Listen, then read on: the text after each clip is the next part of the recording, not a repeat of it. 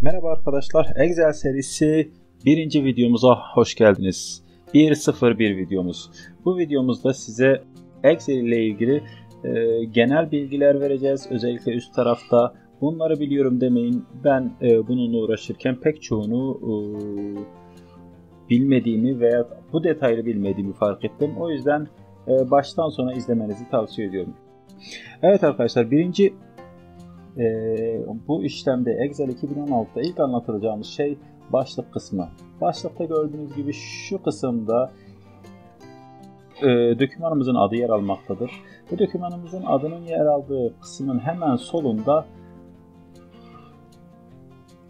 hızlı e, e, hızlı erişim araç çubuğu yer almaktadır. Öncelikli olarak şunu söyleyeyim. Bunun hemen altında e, başlık kısmının hemen altında sekmeler yer alıyor. Gördüğünüz gibi giriş, dosya, e, sayfa düzeni, formüller, veri, gözden geçir şeklinde sekmeler yer almaktadır bu şerit kısmında.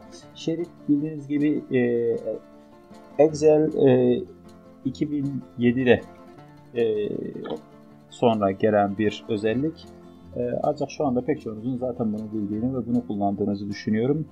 E, şeridin üst kısmında yer alan hızlı erişim araç çubuğumuzda gördüğünüz gibi bende sadece işte kaydet var.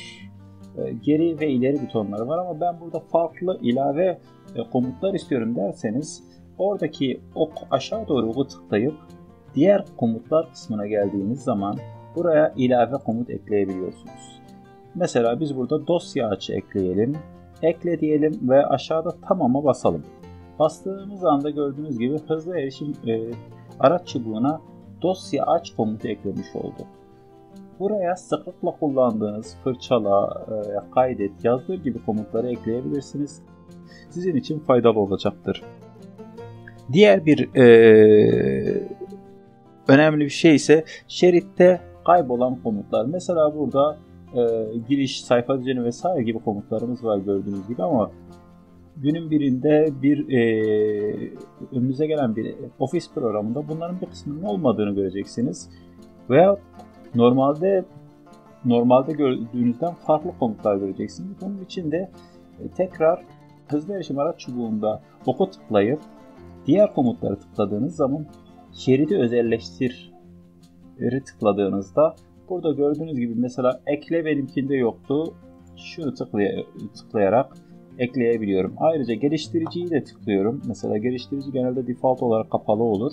Tıklayarak tıklayarak tamam basıyorum. Gördüğünüz gibi yeni sekmeler eklemiş oldum.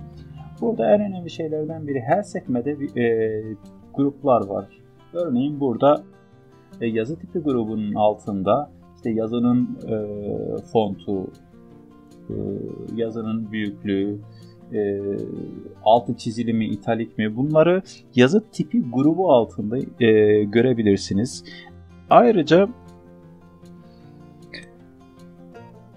herhangi bir komutun üzerinde gördüğünüz gibi burada e, mesela T harfin üzerinde durduğum zaman metninizi italik yapın diye bir yardım menüsü geliyor. Ya da şuraya geldiğim zaman yazı tipini seçiyor. Ya da buraya geldiğim zaman yazı tipi boyutunu e, istediğiniz komutun veya butonun üzerine geldiğiniz zaman size ne o onun ne işe yaradığını gösterir. Eğer e, İngilizce bir e, ofis kullanmıyorsanız size çok basit bir şekilde e, mesela or, ortaya hizala veyahut e, üste hizala şeklinde o orada ne yaptığını size çok kısa bir özet şeklinde verebiliyor. Ayrıca Excel'de sağ köşede e, aşağı yukarı alt sağ köşede ise e, sağa sola kaydırma çubuklarımız bulunmakta. Bunlarla hızlı kaydırma yapabilirsiniz.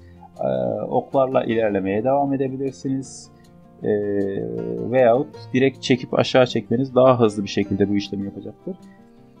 Diğer bir şey ise sayfa isimlerimiz var. Sol alt köşede sayfa 1, sayfa 2 ve sayfa 3 içerisinde rahatlıkla ilerleyebilir. Artı butonuna basarak yeni bir sayfa ekleyebilirsiniz. Buradaki önemli şeylerden bir tanesi de e, şöyle söyleyeyim. Burada örneğin e, gördüğünüz gibi e, rakamlar var ama bu rakamların bir kısmı metin veya rakam olarak değil de formülün sonucu olarak görünüyor. Orada bir formül mü rakam mı olduğunu gö- görmek için o hücreye tıkladığınız zaman formül çubuğunda bunun mesela e, B4 hücremizin bir rakam olduğunu ancak F4 hücremizin bir formül olduğunu ve bu formülün ne olduğunu görebiliyorsunuz. Peki bunun hangi hücrede şu anda e, mouse'la seçtiğimizi e, gördüğünüz için sıkıntı olmuyor ama çok büyük bir dosyada hangi hücrede olduğunuzu bilmiyorsunuz. Örneğin şöyle söyleyeyim. Aşağı doğru çektiniz. Bayağı bir aşağıdasınız ama siz sizin aktif kullanılan hücreniz hangisinin olduğunu ise formül çubuğunun hemen sonunda alt kutusundan görebilirsiniz. Üzerine geldiğiniz zaman zaten görüyorsunuz. Alt kutusu olarak geliyor. Yani şu anda yaptığınız işlem, formül çubuğunda yaptığınız işlem tıkladığınız zaman oraya gidiyor zaten. G4 butonu. Evet arkadaşlar bu e, et, e, alt kutusunda etkin hücrenin adını görebiliyorsunuz. Şimdilik birinci e, videomuz için bayağı uzun oldu. E, videolarımızın devamı için kanalımıza abone olmayı unutmayınız.